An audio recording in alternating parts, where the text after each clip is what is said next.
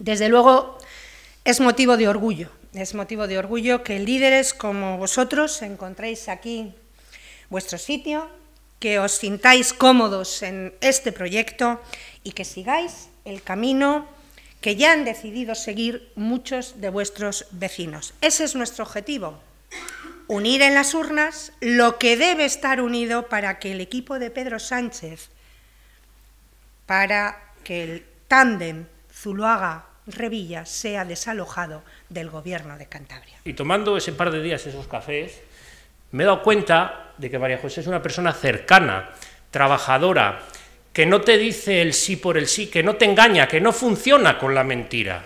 Y para mí eso es fundamental, porque yo con mis vecinos no funciono nunca con mentiras. Les digo la verdad de frente, prefiero un no a tiempo que diez mil sís y que después sea que no.